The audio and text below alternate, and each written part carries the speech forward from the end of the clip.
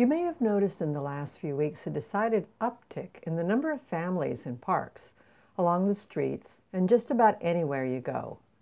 It doesn't matter whether you're traveling on transit, heading into work once again, or just taking care of errands around town.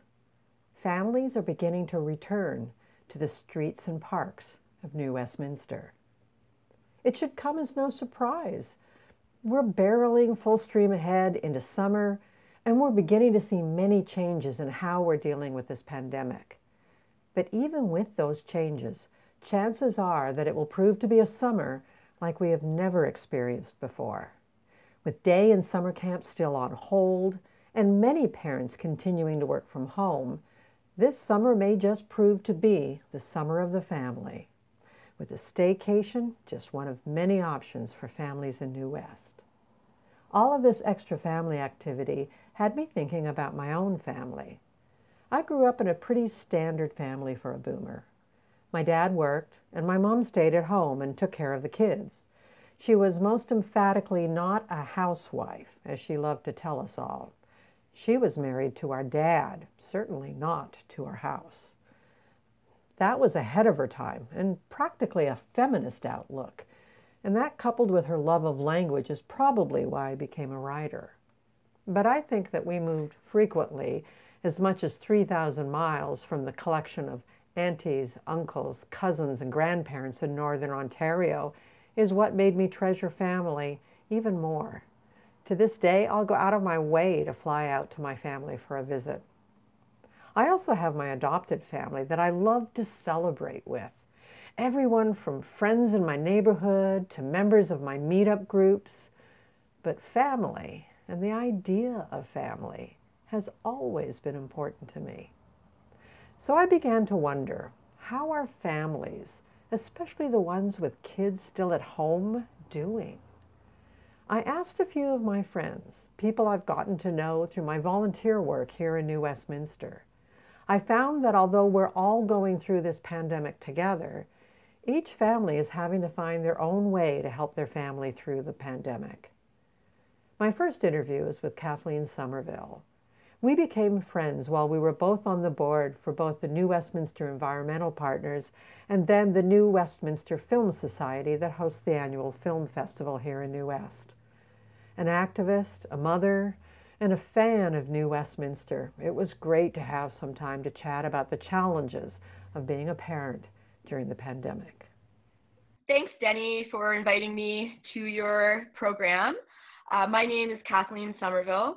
I live in New Westminster. Um, I've lived here for 11 years.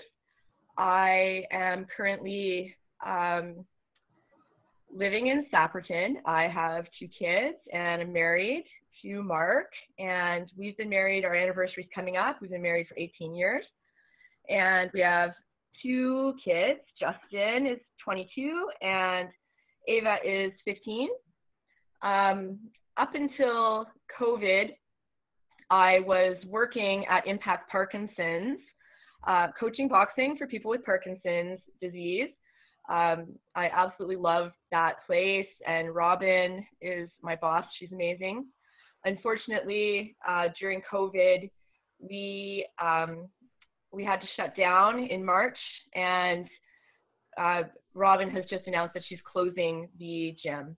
So she's continuing online, she's continuing the nonprofit, and I'm not really sure what is going to happen with that moving forward. So I'm not coaching right now. Um, during the pandemic, though, as you know, the kids are out of school.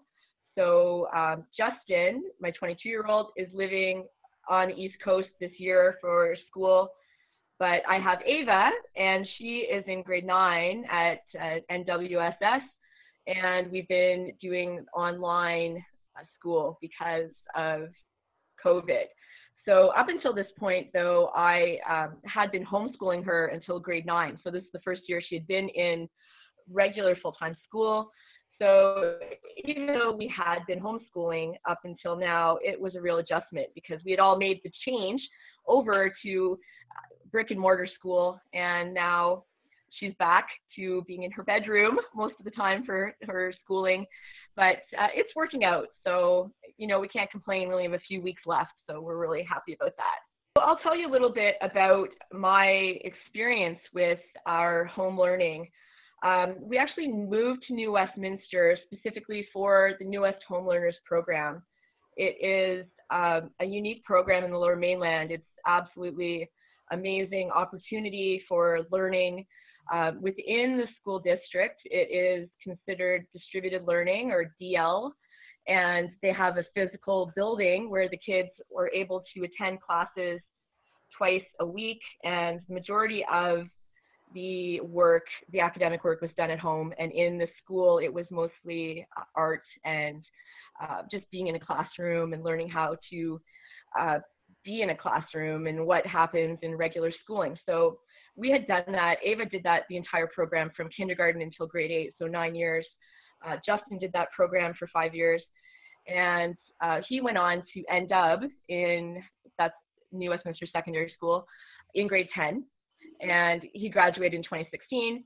Now Ava's in there because she wanted the same experience, but now we're on to pandemic homeschooling, which is different than our regular homeschooling. Uh, the teachers are still involved, but a lot more they're involved with her. In the old way, I was really in touch with Ava's teachers. Uh, we worked together, you know, to try and get her education the way we wanted to work um, with their expertise. And now it's a little more free schooling. Um, because it's grade nine, I feel like it's there's not a lot of pressure at this point. So if it, she was in grade 12, I would be a lot more concerned about it. But it's a lot of independent stuff. She does a lot of online. She meets her teachers. She has meetings um, every week where she has to be at her Google Classroom, and that's different.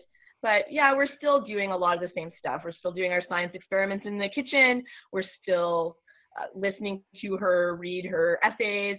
So a lot of it is similar to how we were homeschooling, but she really misses the in-person connection. Dealing with anxiety anytime with a teenager can be a challenge and a reality that most parents do deal with because school is stressful. Um, social life is really stressful for kids. Uh, maybe the home dynamic is also stressful. We have a great home life, but still, you know, even chores and things like that can be stressful for the kids. So it has been a shift. Um, Ava's teachers have been very accommodating and understanding. The first few weeks, she didn't get very much done. She was really deschooling a bit, like that's a term that we use in homeschooling community, kind of coming out of that mentality of how you're learning in a school to back to home, learning on your own timetable. Uh, time management is a huge issue always for kids, even they were in regular school. But the stress level has definitely increased. And, um, you know, we try to keep the communication open, talking about how we're feeling, how she's doing, what's going on with her friends online. You know, there was in the beginning, it was a lot of um, her being stressed out because her friends were still gathering and posting pictures online of their gatherings, and she wasn't doing that. We we went lockdown in the middle of March and we've kind of stayed that way. We're slowly starting to come out, visiting my dad a couple times, but we haven't really been back to normal yet. So, and my husband, Mark, is working. He's working full time, uh, but from home, and uh, Ava's school full time, but from home. So, we've really tried to divide the house up a bit so that everyone has their own space and to when people have certain meetings, we try to be aware of that, not to be blasting our music. Maybe that's my fault, but you know, trying to keep it professional for everybody. But um, yeah, it's been a challenge. It's been a challenge for Mark because he doesn't go into Vancouver. He doesn't get dressed up in his suits. Uh, the nature of his business has changed slightly. Um, for me, though, I have started my own business, and so that has been a huge um, impact on our lives. Relationship that I've had with my daughter, she's 15, has changed because of the pandemic and the ensuing um, events that are happening globally. uh, you know, with everything that's going on with the rioting and the protesting and the human rights issues that are presented constantly on the news, that's a big deal for her. And she's really interested in it. She's outraged by it. She wants to find a way to make a difference, to participate, uh, to have a voice, to help people that don't have a voice. And I'm really um, encouraged by that because I've always been an activist myself and to see her coming in and owning her own activism at this point, wanting to make a difference, wanting to amplify, you know, the voices of people that have been marginalized. That's been a big change in her. And now she's 15. This is what starts to happen when you're 15. You start to realize what is going on in the state of the world.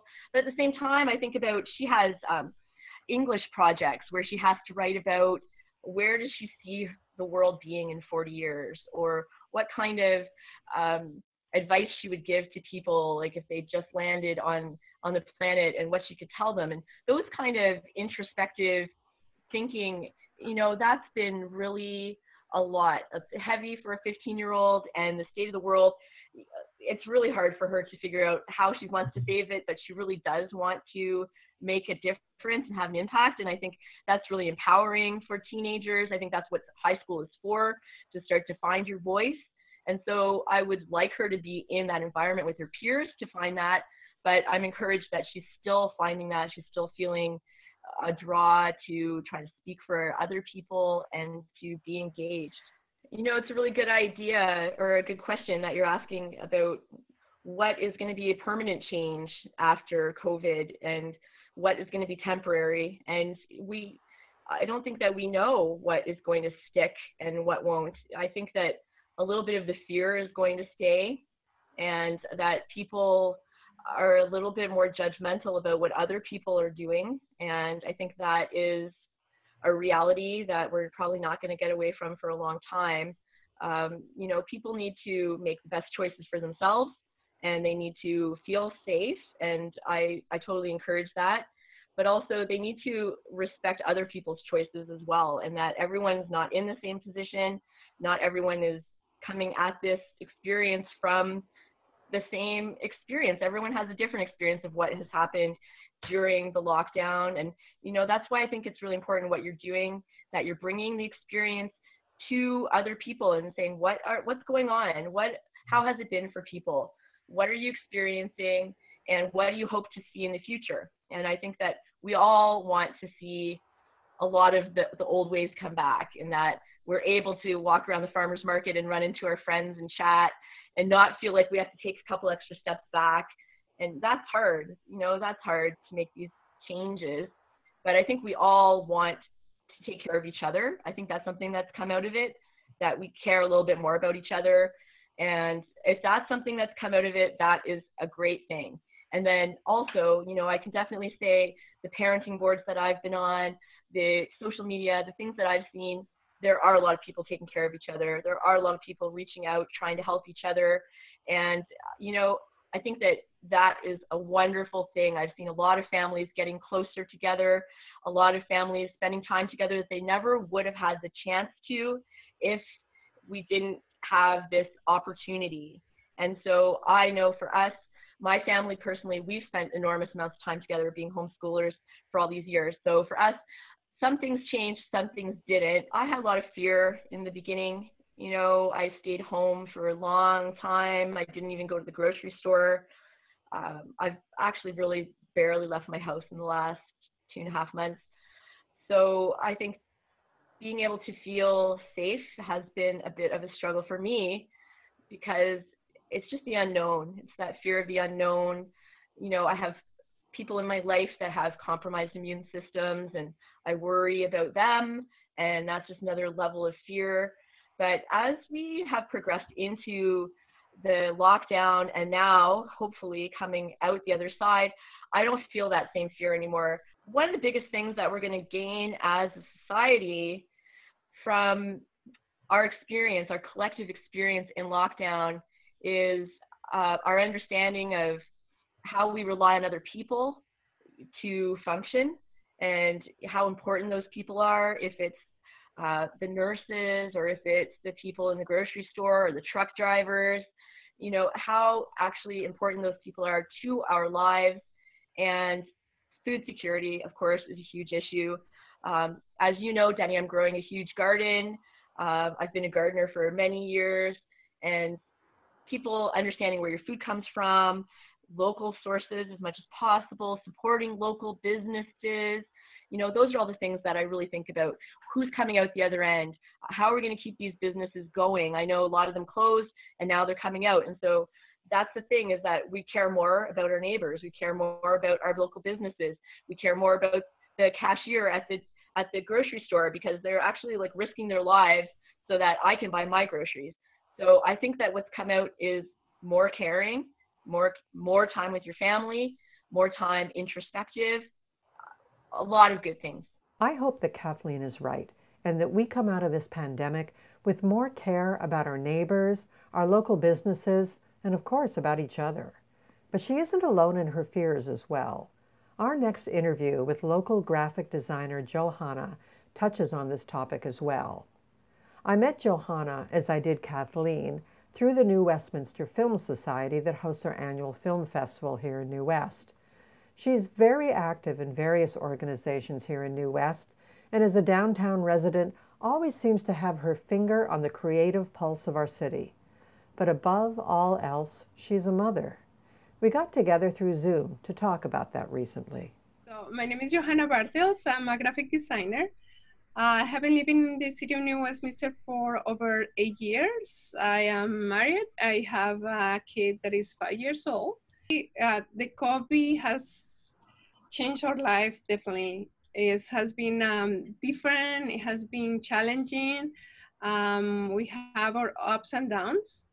Um, we live in a condo in downtown New West, so we don't we don't meet we are not missing as much as other people because uh, you always see people on the streets you go for a walk you go to the park you run into somebody you keep distance and you say hello we still are have some coffee shops open um, they are taking measures so we go and support the local businesses however it's hard. It's hard to see uh, um, restaurants close. It's hard not to go. It's not hard not to hug people that you love. Um, it's hard to uh, be so conscious about being careful and uh, going to the market and then not be able to uh, to say hello. It's, it's hard. As a family, the hardest part is organizing organizing our time As Marco's homeschooling now. Uh, the teacher has been amazing. She sends it's no most kids are having um, online time, so they spend too much time on the screen. In our case, uh, Marco's teacher has been amazing. She's using Word documents with things that he has to finish for the week. Uh, so he's not spending as much screen time as, as many kids of his age because he is homeschooling, then I have to spend fair amount of time just dedicated to his education. Um, I'm enjoying it. I'm loving it, but the first month was really hard with um, with timelines, like having organizing my work time and his time and the share time with the family. We live in a condo, and a space it makes a big difference. Not having a space where I can take my time or having spaces where we can have meetings because my husband normally has he uh, computer he's a computer programmer so he works he's still working he hasn't stopped his company just moved online. And um, he normally has meetings three times a, uh, a week. And um, for that time we had to be quiet we had to be we had to be mindful of um, the noises that we do here and respecting the space and we don't have the space. so before the pandemic, Marco was going to uh, to kindergarten. Um, so normally the routine was his father was dropping him at school. Then uh, he went to school. During the time I was working, um, I used to go to coffee shops and work from there. Um, then after at time of picking him up, I was in charge for picking him up. And then in the afternoon, we used to do activities together, going to classes or just playing at the park. We try to keep a routine. We try to shower every morning and exercise, but it's no no as as strong. And I kind of miss it. It's it's good for your mind to have a structure, time structure. The other thing that is is completely different is how um, how we socialize. And one of the reasons why we live in downtown US is because I like we, we like to enjoy restaurants and we like to enjoy coffee shops. And we go to the farmers market every thursday. Um, we go to the we used to go to fridays on front every friday. Um, and we know like because we are immigrants our support system or, emotional support comes from the people that we know here. And now we don't have those relationships are like they are there. We can pick up the phone and, and talk to them or visit them from far but it's not the same. First the first month was the hardest because like not having separation having seven days a week 24 hours a day is is really hard um, especially for me for him I, for him was easy. He when he, that he's focused on work is he's focused on work. Like I cannot do that. I am always juggling Marco, work, house, and it's a it's a personal thing that I maybe it's because I'm the mom. I have the role of the mom. I don't know if it's because I'm female. I don't know if it's my own thing. But yeah, that was one of the main issues with me at the first the first month uh, like it's half like the um, half of my projects, half of my uh, clients um, actually are not ordering right now my services. So my my yeah my income came was cut half, but also my expenses have been cut half. It hasn't been that bad economically speaking. In most of his classmates they are like we uh, have regular meetings so they don't lose those skills social skills they are the ones actually who are saying oh you have to keep distance or you are too close so most of them are really um, conscious about it and it's, it's it became more like a game like oh no you're too close so for example they have a, a game now that is called the black hole and is that if you are too close, the black hole is going to absorb you and you're going to die. So instead of playing tag, they are playing black hole. The harder part is that he was getting into a discipline of schooling and meeting, having a regular schedule for going to school and coming back.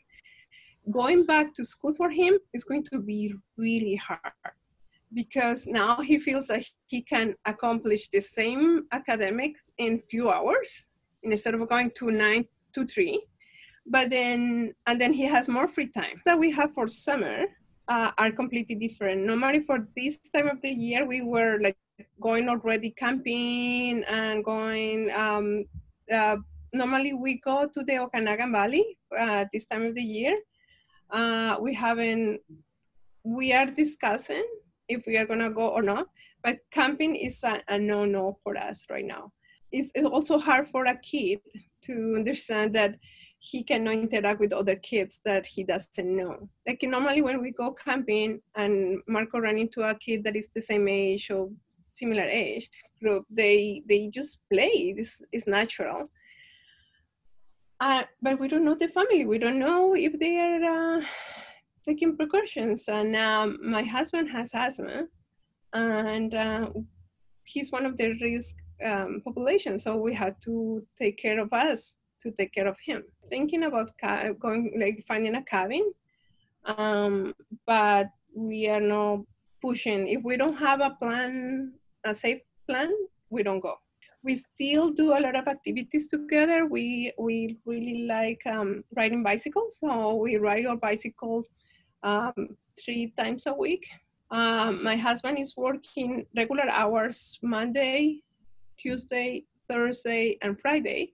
But Wednesday, he's just working part time. So he can stay, well, like we can do something together in the middle of the week.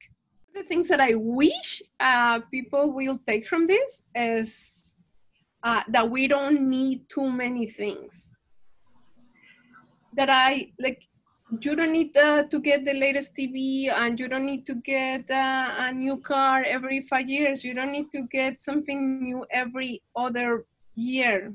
That thing is, I hope, is going to stay with us because what we really need is not even toilet paper, but the basic things are, are really basic and are really important. And um, what you eat is important. So I was I, I, hope people's going to start thinking about supporting local uh, businesses and local farmers because they are the ones that are not, are there working for us while we are struggling and we don't have to go to Costco every time to get our groceries. Come on, buy from the local farmer that they are doing and, and they are not bringing viruses. They are, they are here. That is going to be the, the, the thing that we learn with this pandemic that as minimalist we can be and as close as we can be from home, uh, that should be a forever philosophy to follow in your life.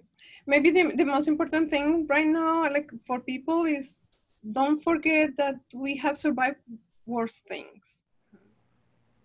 Johanna's words echo in my mind as I walk through the park.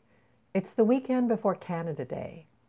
I've been out walking, thinking of the people I interviewed as I watch many local families once again out enjoying our parks. I've noticed that they're out in greater numbers than ever. It really doesn't matter if the day is beautiful or gray and threatening to rain. They come out, and we all watch as the kids laugh and play. But being New Westminster and unpredictable British Columbia, the day turns warm and sunny. Soon, many will head to the cool of the shade, but not the little ones. Kids scream and laugh as they dance through the water in the playgrounds. July is coming. Summer is coming. For families and for all of us, what kind of summer will this be in the midst of this pandemic? I think the answer is up to all of us, to you and me, to our friends, to our families, to make the most of what we have, to accept what we're given, and to be kind to one another as the kids play and we work to stay safe. Because in the end of it all, that's really all we need. So stay safe and be kind to each other out there. Find your peace.